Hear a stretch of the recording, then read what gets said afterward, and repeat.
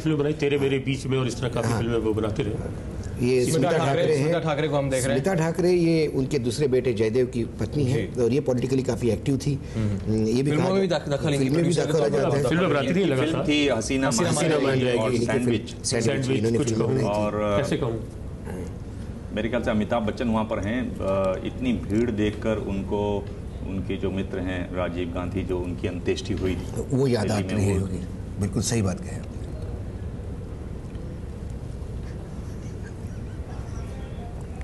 और ये तस्वीरों में हम देख रहे हैं अब अब हलचल वहाँ पर बढ़ी है यानी कि हो सकता है कि अब उनके पार्थिव शरीर को लाया जा रहा हो। परिवार के इनके बाकी सदस्य सब ये आ रहे हैं। देखिए एक बात जो इतनी भीड़ और लगातार जो दिन भर भीड़ रही है। उसको देखकर जो समझ में आती है और जो महसूस होती है वो ये है कि बाल ठाकरे ने कभी ताकत की राजनीति नहीं की। बाल ठाकरे ने हमेशा भावना की राजनीति की। और इसका फ़र्क वो समझते थे। इसका फ़र्क वो जानते थे। और यही वजह रही कि वो इतने समय तक क्षितिज पर छाए रहे और इतने इतनी चीज़ें बदली पर उनका जो समर्थन है लोगों में वो नहीं बदला। जी। इस बीच इस बीच जानकारी ये है कि राज ठाकरे भी अपने घर से निकल गए गणेश ठाकुर जानकारी दे। मनोहर जोशी को हम देते आते हुए देख रहे हैं। गणेश राज ठाकरे रवाना हो चुके अपने घर से शिवाजी पार्क के लिए। जी बिल्कुल। आ गए हम तस्वीरों में देख रहे हैं। यहाँ पर ग्राउंड की तरफ़ जहाँ शिवाजी पार्क में पहुँच गए हैं उनके परिवार के सदस्यों में से उनकी पत्नी शर्मिला ठाकरे उनकी माँ पूर्णा ठाकरे बेटा और बेटी उर्वशी ठाकरे के साथ साथ उनके पक्ष के एमएनएस के विधायकों को भी हम देख रहे हैं गणेश पीछे उनके। उनके साथ में आए, आप देख सकते हैं शिवाजी पार्क पर पहुँच गए हैं और यहाँ पर आपको बता दें कि सुबह के वक्त अंतिम यात्रा बाला साहब ठाकरे राज ठाकरे पैदल चलते दिखाई दिए थे, लेकिन बाद में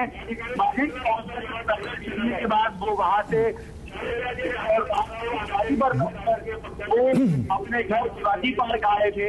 वैसे क्या पीछे अब तक यही पता चल पा रहा है। लेकिन राजस्थान ने जी, गणेश ठाकुर जानकारी देते राज ठाकरे जो है वो पहुँच गए हैं। राज ठाकरे जो यात्रा के बीच में अपने घर चले गए थे, जब यात्रा सेना भवन की तरफ़ जा रही थी, बीच में उस यात्रा से वो अलग हट गए थे, घर की ओर चले गए थे और अब वो शिवाजी पार्क पहुँच गए। शिवाजी पार्क पहुँचने की हमने तस्वीरें देखी राज ठाकरे की और साथ में अपने एमएनएस के जो विधायक हैं, उनके साथ राज ठाकरे जो हैं, वो शिवाजी पार्क में अभी अभी दाखिल हुए हैं। बस किसी भी वक्त उनके पार्थिव शरीर को लेकर अंदर आ जा सकता, आया जा सकता है, क्योंकि बाकी सभी लोग आ गए हैं। और प्रवीण तोगड़िया को हम देख रहे हैं। प्रवीण तोगड़िया भी पहुँचे हैं। बीएचपी के नेता। लेकिन इससे यही साफ़ होता है कि राज ठाकरे सिर्फ़ सेना भवन नहीं जाना चाहते थे। जी। सीधे वो यहाँ पहुँचे शायद सेना भवन ना जाने के लिए उन्होंने ये घर जाने का रास्ता अपनाया। ये हम हमने देखा ये राज ठाकरे को अब देख रहे हैं एमएनएस के जो विधायक हैं उनकी पार्टी के विधायक हैं उनके साथ वो आगे बढ़ते हुए फिर अचानक रुक जाते हैं पीछे की तरफ़ मुड़ते हैं और फिर इंतज़ार करते हैं। उद्धव ठाकरे अभी तक नज़र नहीं आए वो बाला साहब के शव के साथ ही थे। शव के साथ ही उस शव के साथ ही थे। तो अब उद्धव ठाकरे पार्थिव शरीर के साथ ही थे। अब ये भी साफ़ हो गया कि शव के साथ अभी भी नहीं आ रहे राज ठाकरे। यानी अभी भी कंधा शायद उनको नहीं देंगे ये। राज ठाकरे पहले अंदर आ गए हैं तो उसे ये लगता है। विजय दर्डा को भी हम देख रहे हैं। वो भी वहाँ पहुँचे। मोहन राव ने मोहन रावले देख रहे हैं हम रावले ये मुंबई सांसद भी थे। पाँच बार चुनकर आए थे पाँच बार चुन के आए हैं पारिवारिक। पारिवारिक मित्र। पारिवारिक मित्र ने बहुत अच्छे सच्चे निष्ठावान सैनिक के तौर पर उन्होंने अपने को पेश किया और बाला साहब से और उनका उनका, उनका अच्छा खासा दबदबा उस क्षेत्र में था जहाँ पर मिले हुआ करती थी।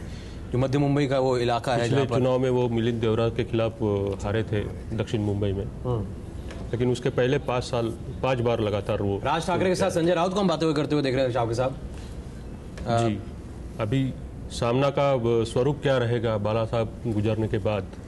एक बड़ा बहुत बड़ा एक सवाल या निशान उस पर लगता है क्योंकि सामना को बाला साहब का आवाज़ माना जाता था। उसमें से बाला साहब के विचार लोगों तक पहुँचते